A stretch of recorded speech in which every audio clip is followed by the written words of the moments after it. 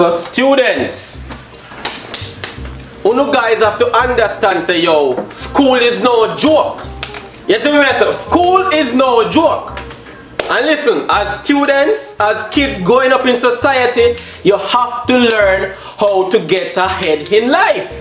Or you're going to succeed. Preach it, sir. You have Preach to it, learn how to get ahead in life. A real chat, sir. Even though I'm not succeed, but yeah. Oh, okay. Know what, sir, I know what getting ahead in life means. Since I don't know so much, right? I want you guys to give me the best definition of getting ahead in life. Sir, sir, me, sir. Anybody? Sir, me, me, me, me, me, sir, me, sir.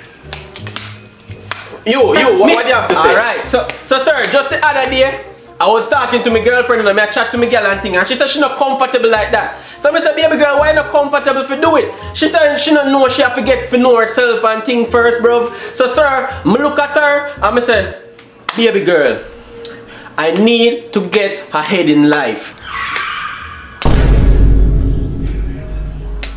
Sir, you know what the girl do? The girl pull down my shorts, she take out the little four inch and start giving me a head in life.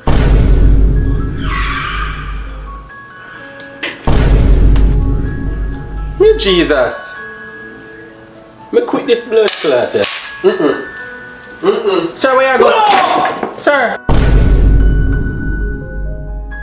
Me Jesus.